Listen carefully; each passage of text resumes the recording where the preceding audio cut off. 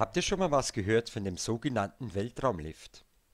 All das hört sich jetzt ein wenig abstrakt an, aber es ist dennoch nicht so weit hergeholt, wie man es glaubt. Nehmen wir mal an, es würde gelingen, einen sogenannten Weltraumlift zu konstruieren. Dies würde dann wahrscheinlich die Weltraumforschung neu revolutionieren. Denn ein kanadisches Raumfahrtunternehmen hat ein Patent für einen Weltraumlift eingetragen bekommen. In der heutigen USPTOs wird berichtet, dass dieser freistehende Himmelsturm bis in eine Höhe von 20 Kilometer über der Erde reichen wird, mehr als 20 Mal so hoch wie bisherige Bauten auf der Erde, und mit einem pneumatischen Antrieb ausgestattet sein wird. Er soll genutzt werden zur Windenergieerzeugung, Kommunikation und Tourismus. Da die benutzte Transporttechnologie wieder verwendbar ist, wird hierdurch eine neue aufregende Art des Zugangs zum Weltraum eröffnet und dies bei einer Ersparnis von 30 Prozent im Vergleich zu einer normalen Rakete. Ziel ist es, in dieser Höhe eine Start- und Landebahn für den erdnahen orbitalen Flugverkehr bereitzustellen. Die Idee zu einer solchen Himmelsleiter wurde 1895 vom russischen Raketenpionier Konstantin Ziolowski entwickelt und in neuesten Zeit auch von der NASA wieder aufgenommen und weitergesponnen. Vor allem mit den jüngst ins Gespräch gekommenen Nanotechnologie sind Bauteile wie Kohlenstoffe Nanotubes denkbar geworden, die ein solches Bauwerk in gar nicht allzu weiter Ferne heranrücken lassen. Schon 1998 hatte das deutsche Fernsehen schon einmal einen Bericht darüber gebracht. Klinghausen zu berichten und es hat nichts mit einer PISA-Krise zu tun. Im Gegenteil, es geht um junge Know-how-Elite und ein unglaublich ehrgeiziges Ingenieursprojekt. Und unglaublich ist da das richtige Wort. Das ist die Idee. Man schießt einen Satelliten in die Erdumlaufbahn und zwar so, dass er sich mit der Erde mitdreht und scheinbar immer über derselben Stelle steht. Das gibt es längst. Geostationäre Satelliten hängen schon lange am Himmel, 36.000 Kilometer hoch über unseren Köpfen. Das ist genau die Höhe, wo sich Fliehkraft und Erdanziehung die Waage halten. Aber dann kommt die Science Fiction. Man könnte zu den Satelliten eine Schnur hochspannen und dann wie an einer Seilbahn Sachen hoch und runter fahren lassen. Das wird ernsthaft diskutiert. Die NASA hat einen Wettbewerb für Ideen zu einem solchen Weltraumaufzug ausgeschrieben. Und da gehört das Team aus Recklinghausen zur Weltspitze, berichtet Patricia Wiedemeyer. Genau ein Jahr lang haben sie geschraubt, getüftelt, viele freie Nachmittage geopfert. Die Schüler der Klasse 12 im Maxborn Berufskolleg. Ihr Maschinenbaulehrer hatte die Idee. Er hörte im Radio, dass die NASA einen effektiven und preiswerten Weltraumaufzug sucht, den beschwerlichen Weg ins All einfacher und billiger machen. Das war das Ziel. Skepsis bei den Schülern ersten Vorstellen war bemerkenswert, es war mucksmäuschenstill, sehr ungewöhnlich für diese Klasse.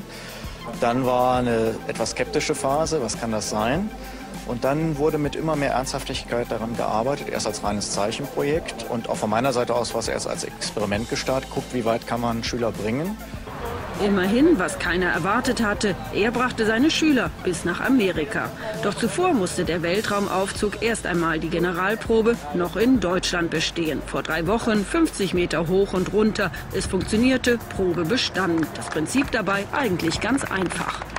Die Grundidee eines russischen Physikers, auf dem der ganze Wettbewerb beruht, ist es, dass man ein 36.000 Kilometer langes Seil hierdurch demonstriert, vom Äquator in den Orbit schießt. Dieses Seil ist oben an einem geostationären Satelliten befestigt. Dieser dreht sich mit der Erde um die Erde. Dadurch ist das Seil permanent gespannt und ein Aufzug kann hinauffahren. Das Ganze kann man sich dann wie eine überdimensionale Steinschleuder vorstellen. Sie sehen, das Seil ist permanent gespannt und daran könnte jetzt zum Beispiel unser Elevator ins All fahren. Ins All fährt der Space Elevator, der Weltraumaufzug zwar noch nicht, aber immerhin schafft er 60 Meter. Die Energie für die Solarzellen am Aufzug liefern zurzeit noch starke Scheinwerfer. Künftig sollen das Laserstrahlen machen. Vor einigen Tagen beim NASA-Wettbewerb in New Mexico brauchte der Aufzug der Recklinghausener Schüler dreieinhalb Minuten. Drittbestes Ergebnis für die Schüler eine kleine Sensation. Es war ein weltweites Turnier, es hätte aus jedem Land jeder mitmachen können. Und dass wir da als Schule, vor allem als Schüler halt, den dritten Platz aus Deutschland belegen in einem Wettbewerb in Amerika, es war schon ein riesengroßes, also war ein echt einmaliges Event. Ja, ich fühle mich natürlich gut. Wie soll man sich sonst fühlen, wenn man bei sowas Glück gehabt hat? In 10 bis 20 Jahren soll der Aufzug dann wirklich bis ins All fahren, hofft zumindest die NASA. Einziges Problem, es fehlt das richtige Material für das Seil. Dünn und reißfest, 36.000 Kilometer lang muss es sein. Die Nanotechnologie soll es möglich machen. Es werden wahrscheinlich Materialien für Raumstationen transportiert und äh, sogar Astronauten. Und damit spart man sich dann teure und aufwendige Space Shuttle Starts. Heute Morgen zurück in Recklinghausen. Die Schüler und Lehrer des Max-Born-Berufskollegs präsentieren sich der Presse. Hochmotiviert sind sie immer noch. Nächstes Jahr wollen sie wieder mit dabei sein. Dann muss der Aufzug allerdings noch höher hinaus und noch schneller fahren. Der Gewinner in New Mexico, das Team einer kanadischen Universität, schaffte die Strecke immerhin in einer Minute.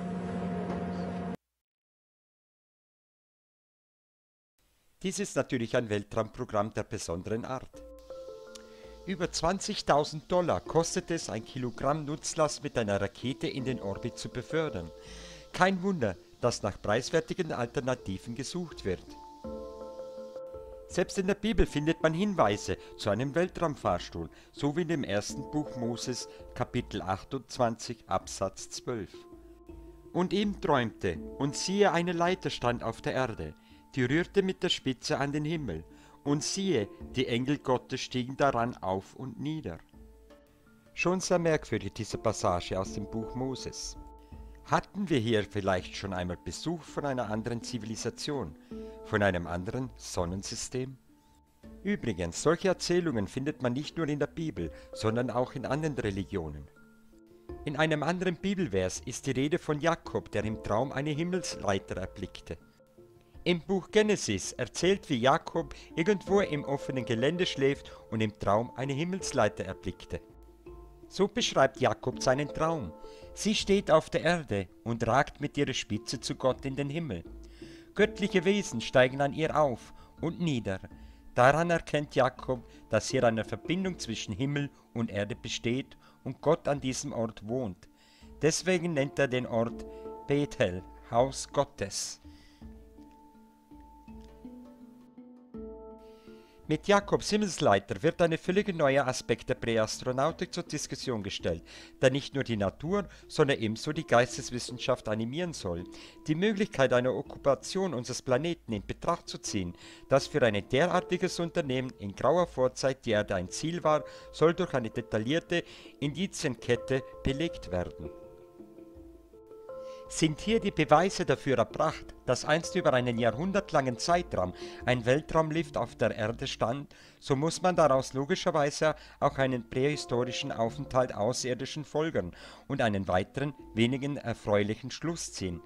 Nicht dem Menschen galt das Interesse, sondern ausschließlich dem Planeten Erde. Warum dabei ausgerechnet die sehr komplexe Konstruktion eines Weltraumlifts zur Anwendung kam, lässt sich durch mehrere Gründe wissenschaftlich fundieren. Will man definitiv auf einem anderen Planeten seine Art erhalten, ist es unabdingbar, seine Anatomie wie auch die Physiologie den Anforderungen des anderen Planeten anzupassen. Dazu müsste über Generationen hinweg die Lebensbedingungen ausgiebig getestet werden, wofür wegen des sehr langen Zeitraums wie auch aus Sicherheitsgründen und energetischen Aspekten einer Weltraumlift das Idealgerät sein dürfte. Und sollte auch nur einiges in diesem Buch aufgeführte Annahme aus wissenschaftlicher Sicht in den Bereich der Möglichkeit gerückt werden, müssten eigentlich doch die Alarmglocken schrillen. Denn dadurch würde die Gefahr eines Besitzanspruchs Außerirdischen auf unserem Planeten dramatisch erhöhen. Die Wahrscheinlichkeit einer Konfrontation mit Außerirdischen wäre dann nicht mehr auszuschließen, und wenn diese Gefahr nicht gesehen wird, kann es wegen der latenten Schutzlosigkeit der Erde irgendwann zu größeren Katastrophen der Menschheit, eventuell sogar zu deren Ende kommen. Ein imperialer Besitzanspruch Außerirdischer auf die Erde ist deshalb ein nicht mehr zu ignorierten Szenario, das aufgrund seiner hohen Wahrscheinlichkeit zu einem sicherheitsrelevanten Thema werden muss. Anlass zu dieser Besorgnis gibt es nicht nur die knappe Schilderung von Jakobs Traumerlebnis, sondern sie entsteht nicht zuletzt durch eine biblische Hinweis auf eine Rückkehr Gottes und die Errichtung seines Reiches auf der Erde.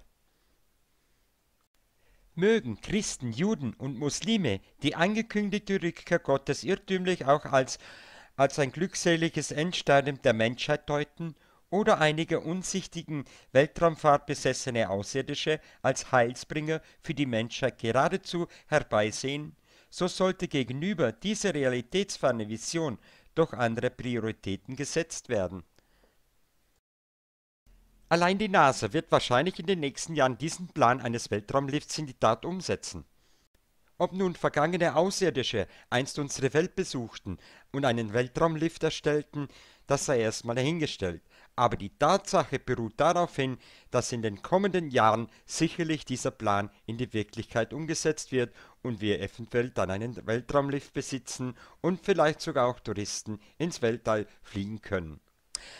Meine lieben Freunde, hiermit sind wir mal mit diesen Tatsachenberichten mal wieder am Schluss angekommen und wir hören uns das nächste Mal wieder, sofern ihr wollt. Auf Wiedersehen. Kollegs präsentieren sich der Presse. Hochmotiviert sind sie immer noch. Nächstes Jahr wollen sie wieder mit dabei sein. Dann muss der Aufzug allerdings noch höher hinaus und noch schneller fahren. Der Gewinner in New Mexico, das Team einer kanadischen Universität, schaffte die Strecke immerhin in einer Minute.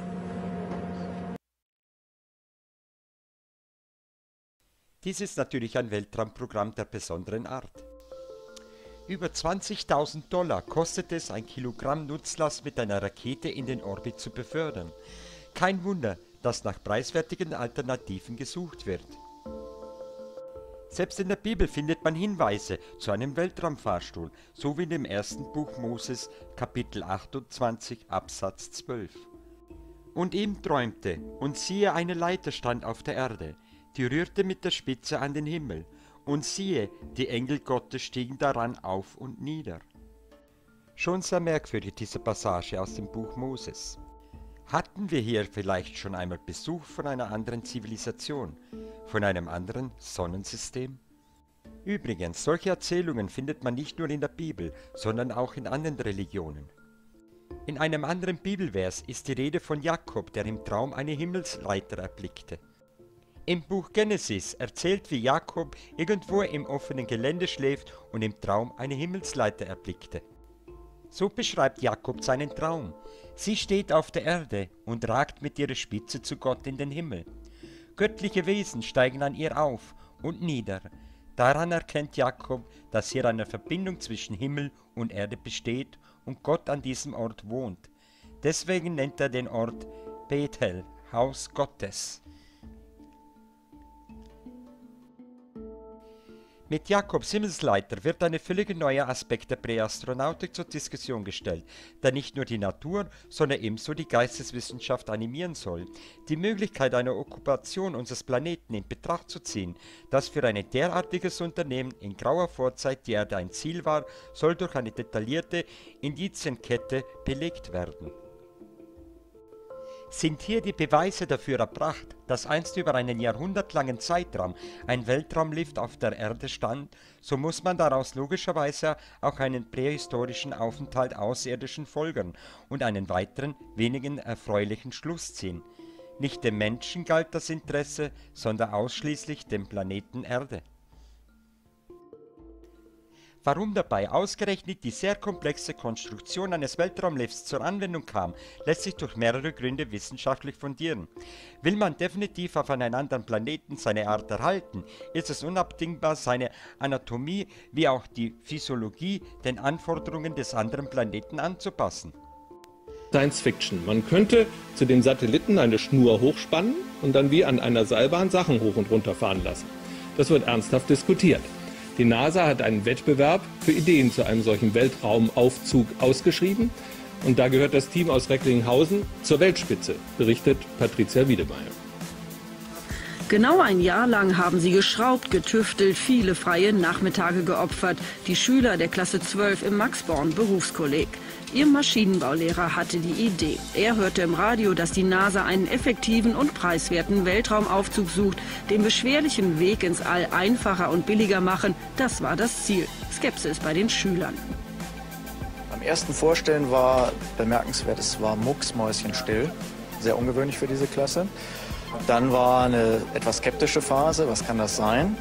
Und dann wurde mit immer mehr Ernsthaftigkeit daran gearbeitet, erst als reines Zeichenprojekt und auch von meiner Seite aus war es erst als Experiment gestartet, guckt, wie weit kann man Schüler bringen. Immerhin, was keiner erwartet hatte, er brachte seine Schüler bis nach Amerika. Doch zuvor musste der Weltraumaufzug erst einmal die Generalprobe noch in Deutschland bestehen. Vor drei Wochen 50 Meter hoch und runter. Es funktionierte, Probe bestanden. Das Prinzip dabei eigentlich ganz einfach. Die Grundidee eines russischen Physikers, auf dem der ganze Wettbewerb beruht, ist es, dass man ein 36.000 Kilometer langes Seil hierdurch demonstriert, vom Äquator in den Orbit schießt. Dieses Seil ist oben an einem geostationären Satelliten befestigt. Dieser dreht sich mit der Erde um die Erde. Dadurch ist das Seil permanent gespannt und ein Aufzug kann hinauffahren. Das Ganze kann man sich dann wie eine überdimensionale Steinschleuder vorstellen. Sie sehen, das Seil ist permanent gespannt und daran könnte jetzt zum Beispiel unser Elevator ins All fahren. Ins All fährt der Space Elevator der Weltraumaufzug zwar noch nicht, aber immerhin schafft er 60 Meter. Die Energie für die Solarzellen am Aufzug liefern zurzeit noch starke Scheinwerfer. Künftig sollen das Laserstrahlen machen. Vor einigen Tagen beim NASA-Wettbewerb in New Mexico brauchte der Aufzug der Recklinghausener Schüler dreieinhalb Minuten. Drittbestes Ergebnis für die Schüler eine kleine Sensation. Es war ein weltweites Turnier, es hätte aus jedem Land jeder mitmachen können. Und dass wir da als Schule, vor allem als Schüler halt, den dritten Platz aus Deutschland belegen in einem Wettbewerb in Amerika, es war schon ein riesengroßes, also war ein echt einmaliges Event. Ja, ich fühle mich natürlich gut. Wie soll man sich sonst fühlen, wenn man bei sowas Glück gehabt hat? In 10 bis 20 Jahren soll der Aufzug dann wirklich bis ins All fahren, hofft zumindest die NASA. Einziges Problem, es fehlt das richtige Material für das Seil. Dünn und reißfest, 36.000 Kilometer lang muss es sein. Die Nanotechnologie soll es möglich machen. Es werden wahrscheinlich Materialien für Raumstationen transportiert und äh, sogar Astronauten. Und damit spart man sich dann es war ein weltweites Turnier, es hätte aus jedem Land jeder mitmachen können. Und dass wir da als Schule, vor allem als Schüler halt, den dritten Platz aus Deutschland belegen in einem Wettbewerb in Amerika, es war schon ein riesengroßes, also war ein echt einmaliges Event. Ja, ich fühle mich natürlich gut. Wie soll man sich sonst fühlen, wenn man bei sowas Glück gehabt hat? In 10 bis 20 Jahren soll der Aufzug dann wirklich bis ins All fahren, hofft zumindest die NASA. Einziges Problem, es fehlt das richtige Material für das Seil. Dünn und reißfest, 36.000 Kilometer lang muss es sein. Die Nanotechnologie soll es möglich machen. Es werden wahrscheinlich Materialien für Raumstationen transportiert und äh, sogar Astronauten. Und damit spart man sich dann teure und aufwendige Space Shuttle Starts. Heute Morgen zurück in Recklinghausen. Die Schüler und Lehrer des Max-Born-Berufskollegs präsentieren sich der Presse. Hochmotiviert sind sie immer noch. Nächstes Jahr wollen sie wieder mit dabei sein. Dann muss der Aufzug allerdings noch höher hinaus und noch schneller fahren. Der Gewinner in New Mexico, das Team einer kanadischen Universität, schaffte die Strecke immerhin in einer Minute.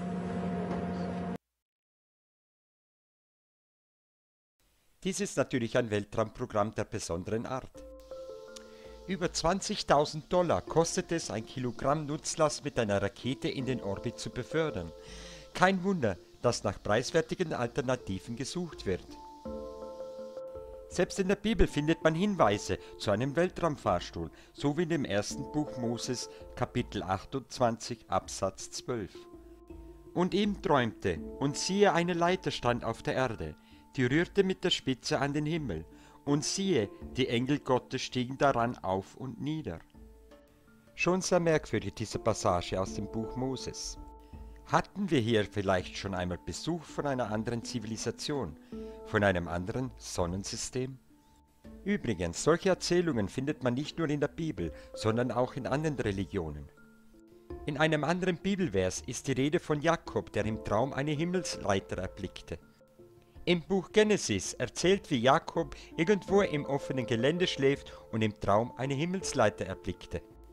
So beschreibt Jakob seinen Traum. Sie steht auf der Erde und ragt mit ihrer Spitze zu Gott in den Himmel. Göttliche Wesen steigen an ihr auf und nieder. Daran erkennt Jakob, dass hier eine Verbindung zwischen Himmel und Erde besteht und Gott an diesem Ort wohnt. Deswegen nennt er den Ort Bethel, Haus Gottes.